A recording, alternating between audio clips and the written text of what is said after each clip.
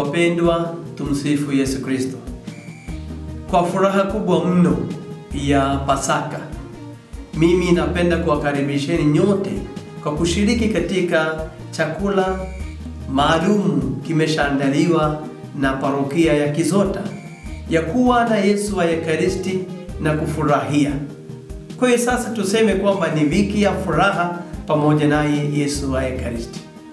Katika wiki hiyo sisi tutapata mafundisho mengi ya kutosha yanayohusu maisha yetu ya kiroho, na vile vile sisi tutapata kutem, uwezo wa kutembea naye Yesu wa Ekaristi, yule ambaye anaishi pamoja nasi, na vile vile wewe utapata baraka ya kipekee kwa kupitia Yesu wa Ekaristi, na vile vile sisi tunaandaa vizuri yale uh, shida zako mbalimbali unaweza kupeleka kwa Yesu wa Ekaristi. Unapata nafasi ya kwa kupata maombezi yake maalum. Tena wewe unapata nafasi nyingine ya kutakaza roho yako na kuweka maisha yako vizuri. Tutambue na tujue kwamba sisi tutakapotembea naye Yesu Kristo tukiwa tumemtambua yule Yesu wa Ekaristi, wewe unapata nguvu ya ziada na ya ajabu utaona kama matatizo yako yote ya maisha na ya familia na ya kimwili yote yataondolewa na huyu Yesu. Ndiye peke yake jibu la haya matatizo yote.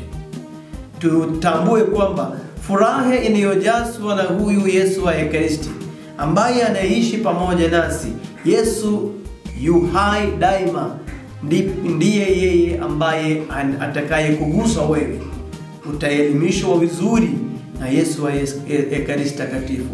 Ukimtambua yeye, utaona furaha katika maisha yako, katika kazi zako, katika familia yako na jamii unakoishi.